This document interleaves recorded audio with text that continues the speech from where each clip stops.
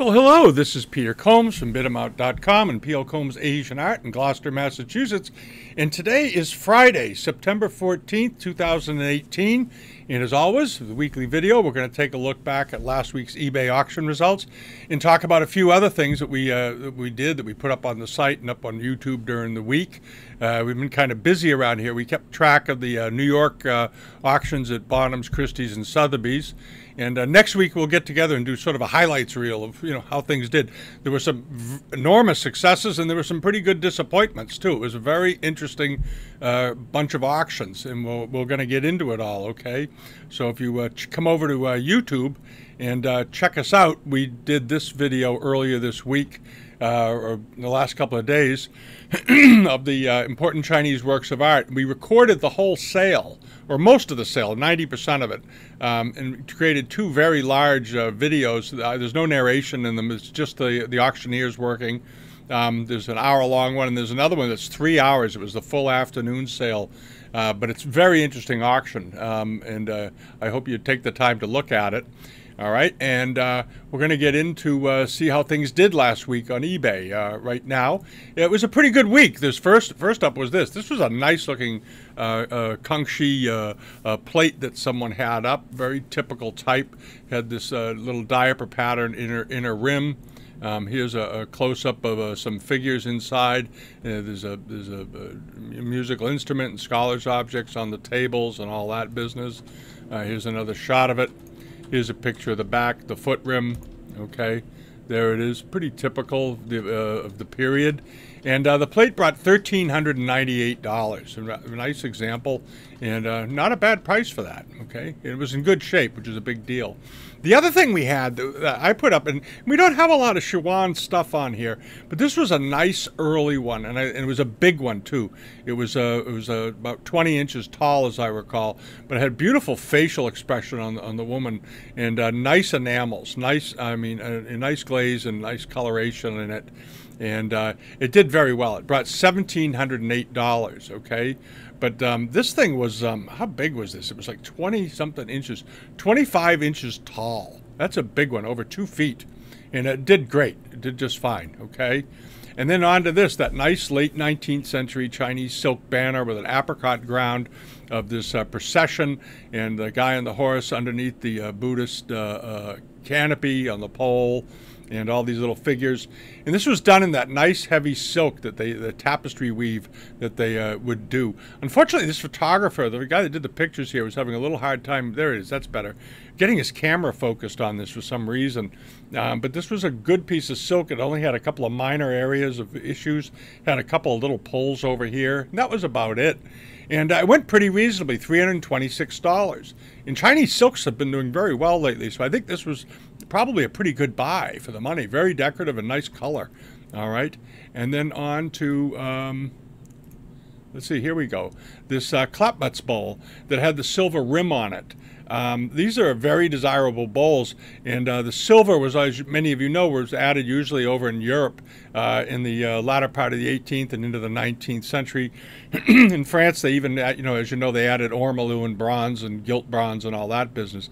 But because of the uh, uh, the silver work added to it, a lot of Chinese guys won't touch these. They're not interested in them if they've been altered, and as a result, you can get a pretty good buy and an interesting thing because the silver's hallmarked usually. Here are the hallmarks on it and it has a Chenghua mark, so you can do some homework on it and look it up. Okay, it had a slight line right here in the bottom, but that was about it.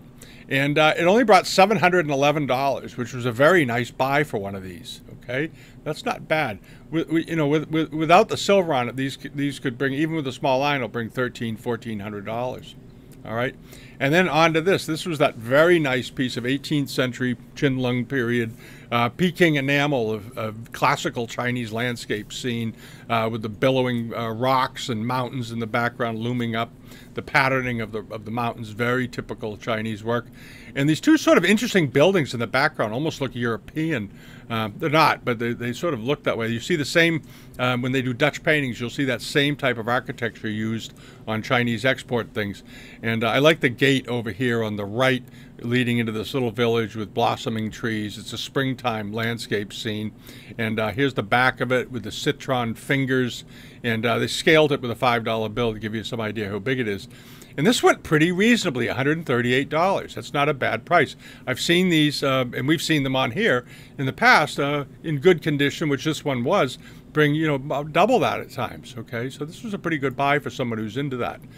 And then there was this, this very nice looking, it was small. This was around five, a little over five inches tall, but a nice um, uh, uh, late Meiji Showa period uh, Japanese uh, cloisonne two-handled pot with a, good-looking, uh, you know, sort of a nicely rounded finial. All that's very proportional. Um, good-looking work all the way around. Nice tight, tight enamels. Uh, you know, flawlessly done, of course, the way the Japanese did them. And it went for two hundred and eighty-two dollars which is not a big price for one of these. That was a that was a that was a good a good buy. All right. And then on to this, uh, two other Japanese things were these two mixed metal bronze vases, uh, Meiji period, uh, overlaid with gold and copper on bronze, and uh, nicely decorated. You can see how they incise parts of the body, and then other areas they built up to give it a very good three-dimensional effect. All right, and uh, so you get a better look at it here. Here's one. You can see how thick they could work some of the copper onto here with the with the with the ascending uh, sparrow, which is a common motif on these, and um, did, they did well, but they didn't bring the world. Four hundred and seventy-one dollars, which is quite reasonable for these. Back in the '90s, you know, a pair of vases like this would have easily brought $1,500 to twenty-two hundred dollars somewhere in there. Uh, but they're a great buy, and um, unappreciated Japanese stuff. Uh, if you're getting into Asian art, uh, don't be afraid to look at Japanese stuff because it, uh, dollar for dollar, it's a fabulous buy these days. Uh, uh, given the you know the somewhat overheating of the Chinese market in the last 20 years. All right, and uh, then on to this the the, the Ming bronze with the tiny little loop handles on it. This was a good looking one. It was about seven or uh, eight inches tall, uh, nicely worked, nice low relief work on it. Uh, good patina, nice old surface on it. Here's a picture of the bottom. Doesn't appear to have been repaired. Sometimes they are. They not, used to bang the bottoms out of these for some reason. All right, and you can see the, the, the sort of a mask handle on the side. And uh, this went pretty reasonably, uh, $316. Okay, that's not bad for one of those for a really good early piece of uh, bronze. And the seller was somewhat conservative. They said Qing or earlier. Okay, it's earlier than Qing. All right, it's earlier. Some people sell these as late yuan. Okay. And then on to this. This was that nice, uh, very nice Chinese Imari Kangxi uh, tea caddy with a later silver, sterling silver top. Silver silver top was probably added. Often, often they added these in England um, uh, for, for storing tea. And what was nice about it, they added this brown dressed rim here, the brown dressing. Because if you've seen a lot of these Kangxi uh, tea caddies, they were used a lot, and they tended to be very prone to fritting around the uh, around these edges. And the brown dressing seems to help retard the, the fritting issue during the making, so they don't end up all chipped. Uh, later on, and the uh, the the the gilt and uh, red enamel work on it looked to be all in very nice condition, and this was a pretty good buy. This only went for two hundred and eighty four dollars not bad for a molded uh, Kangxi slab constructed uh, tea caddy. Okay, very nice. All right. And uh, on to this. The, Jap- uh, the, the Chinese export fan, circa 1840 or so, plus or minus 15 or 20 years. And uh, good looking fan, well done. I love the little foo lions running around the top of the edges of the blades, all these different little types of foo lions. It had one small loss here in the middle, which probably could be pretty easy to fix if you wanted to bother. There's a good picture of the foo lions, all right? And uh, it went for $520. Not bad, okay? Uh, fans uh, have a very well. If you have fans and you want to sell them, eBay is a good place to sell them. There are a lot of fan collectors on eBay, and, and you and then you, you get in with people who buy fans, but not only Chinese fans, but they, they get into French fans, English fans, Dutch, and all that. All right. And uh, moving on to this was the Qianlong uh, red ground uh, uh, uh, export plate with the cockerels and the rooster and the, and the cockerel in the center, and it's done on a, on a on a you know a white background of a scroll opening and then depicting them with flowers in the foreground. But good strong red ground enamels, little, nice little cartouches, and uh, it did quite well. These always bring money. These always do well. And it was, according to the, the seller, it was in absolutely mint condition. And it looked good to me. $1,456. on occasion, uh, you'll see sets of these turn up in, in auctions in, in, in the UK. Um, I think William Wallace had them a while ago, and uh, you want to uh, keep your eye out for those, okay? Excuse the noise outside. If you're hearing noise, um, they're repaving our sidewalks this, this week, and it's been very loud around here. All right, and then on to this. This is the, the hot food pot, late 19th, early 20th century food pot. Nice looking one. Had Still had its liner, which is always good. There's the interior liner. Well painted dragons, nice enameling on it. There it is, and it was marked China, but it was this is that when you see this mark, it's a, you know it's it's hand done later, and then you know um, uh, with a brush, it's painted on, not stamped on, and then they fire it, and it gets all crackly and weird. But uh, still a nice thing. Okay, good looking, a good looking hot food pot. And uh, it did fine. It brought $1,113. And if you have some of these around your house, you should use them when you're entertained. Put some soup in them. All right, they look nice. And uh, on to the uh, 18th century uh, blue and white teapot. This was a beautifully painted teapot. Okay, this the the, the, the, uh, decoration on this was extremely well painted. And what what held this back and made it a very good buy was that, as you saw, it has a has a uh, chip on the rim of the of the lid right here and uh, which can be fixed. That's not that big a deal. And there was a small hairline somewhere, but there's the bottom of it. This is a really fine piece of porcelain when they come out this well, and it was nicely decorated, and it went for just seventy dollars. Okay, that's a heck of a good buy for something of that age that's done that well. Okay, the big thing is on these is the quality of the work on some of these pots is is, is, is as good as anything that was kept in China is, is high-end domestic ware. All right, and seventy dollars, you couldn't beat it. Okay, and then on to this, that great uh, uh, latter 19th century uh, uh, sort of arts and crafts hammered silver um, uh, side handle. I love it had a bamboo side handle on it, which was great. Um, teapot, there it is. Okay, and uh, but beautiful quality, and it ended up selling for fifteen hundred and thirty-three dollars. But the mark was by the, the the maker's mark was uh, Tu Mao Xing and uh, he was a fairly prolific silversmith and handled some very high end, uh, made some very high end pieces. And they do turn up in uh, the West uh, from time to time, okay, in American collections. And then on to this. We, as you recall, a, a week or a couple of weeks ago, there was another nice-looking late 19th century Famille Rose planter. Well, here's another one. Uh, this was a good-looking uh, example, and it still had its original under tray with this nice overglazed blue enamel um, uh, edge to it. Okay, here's a picture of the bottom, the drain hole, and so forth. All right, and I think it went fairly reasonably, $818. Okay, that's a good buy. And uh, by all means, if you buy these, put a plant on them. They look great with plants on them. I, I, drives me crazy. I go to see people and they have they'll have a big pair, a nice pair of these, and they're just sitting there empty. You know, for heaven's sakes, put a petunia in it. All right, and then on to the clobberware. Okay, this was a good-looking lot of uh, 18th century porcelain that was clobbered um, over in uh, uh, probably Holland, I would guess, or maybe England. And uh, but good looking, a nice lime green or a nice apple green ground decoration. Uh, the gilding here uh, around the highlights in the center of that were in good shape. Then you have this nice ewer. Unfortunately, the ewer is missing its lid. It would have had a nice lid up here, but that's a good-looking form. It's a it's a form you usually see on Ming shape is sort of a Ming shape. It had no line here, but uh, I don't care about that. I like the clobber decoration on this. And uh, not a lot of people collect clobberware, but this is a, this would be a good one.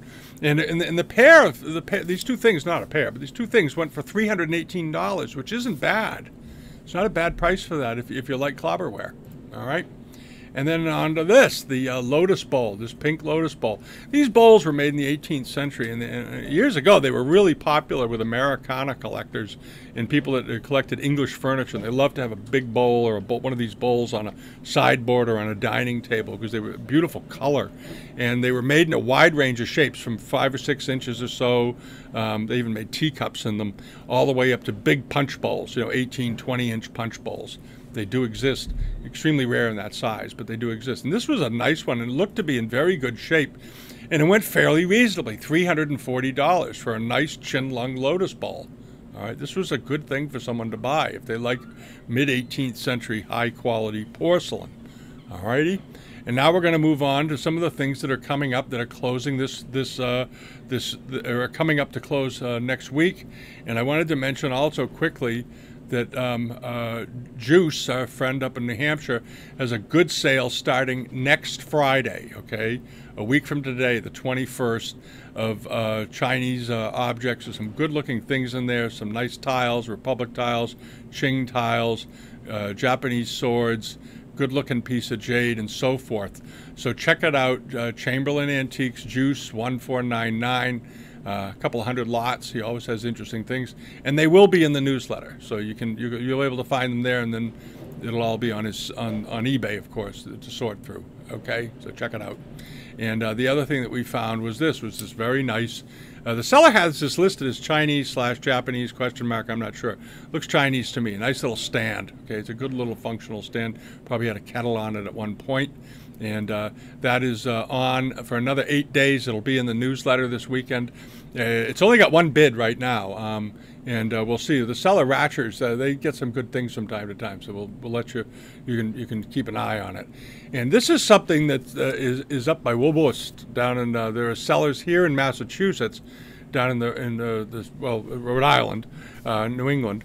Uh, they get nice things. These people get into estates. They handle all kinds of antiques. It's not just Asian stuff, um, and they're quite knowledgeable. And they came up with this tablet all right, that's a nice looking tablet signature, and um, uh, the, I haven't looked up this mark yet, but I think I know who it's by. It's pretty, it looks like it might be a pretty rare one, and we'll see. Here's the back of it, exactly the way it should look. Nice looking enamel work with a squirrel.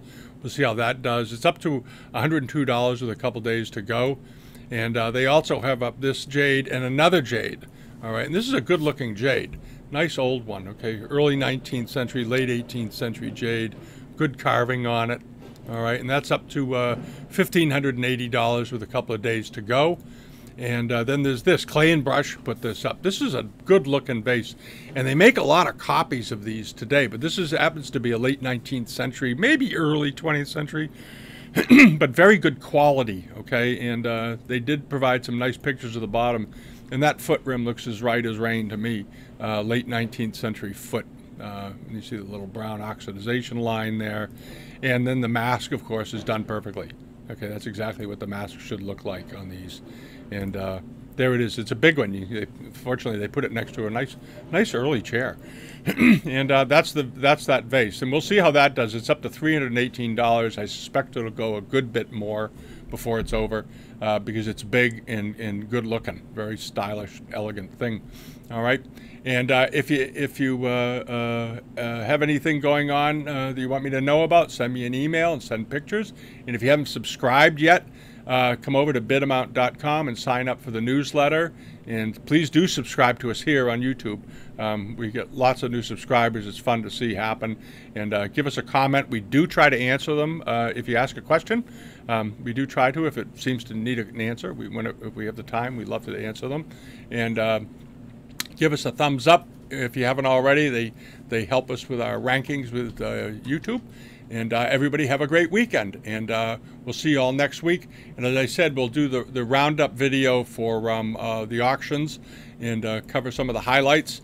And uh, we'll talk about those those Tang statues that did so well, and so on and so forth. All right. Have a great weekend, and I hope you find something out there this weekend you like, or you just go out and enjoy the autumn weather. It's starting. All righty. Bye bye.